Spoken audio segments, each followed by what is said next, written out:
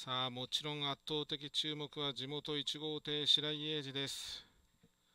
本場にも平日にもかかわらずまあ春休みということはあるかもしれませんがかなり多くのファンが詰めかけてもちろん視線の先は白井英二。白井英二だからこそある意味これだけお客さんを呼べていると言ってもいいくらいのこの存在感です。ベテランファンは英二そして同世代は A ちゃん。後輩からは英二さん。いろんな呼び方でそれぞれ親しまれていますがさあ地元白井英二。問答無用の陰線優勝なるか。2コースは2号艇林義則です。そして本番も3コース後方下げて3角線。チルトプラスの0.5破壊力は抜群です。無解除が白井破るというそんな金星になるか。4コース4号艇板橋優雅。5コース5号艇小月白市に大外6コース6号艇岡優心2対4第12レースは優勝戦。進入インコースから1番2番。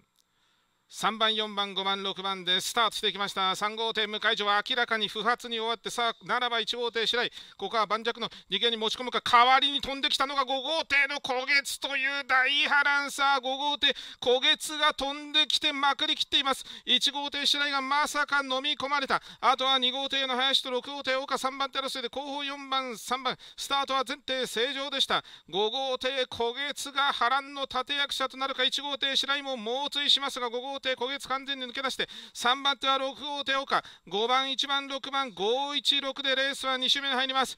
5号艇小月3艇進リード2番手1号艇白井3番手6号艇岡。5番1番6番です。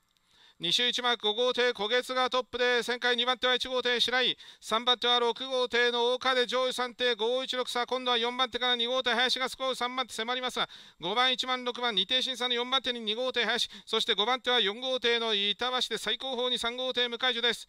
5号艇小月がトップ2周2マークの旋回2番手1号艇白井。3番手は6号艇の岡。上位3艇5165番1番6番レースは最終周回です。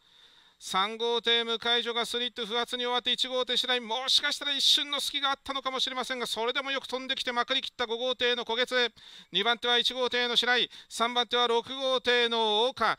5番1番6番勝負の怖さを感じさせるようなそんな5号艇小月の見事な走り。5番1番6番で最終ターンマークへ向かいます。5号艇小月にとっては昨年の12月尼崎以来通算32回目の優勝ということになります。トップで最終ターンマーク旋回。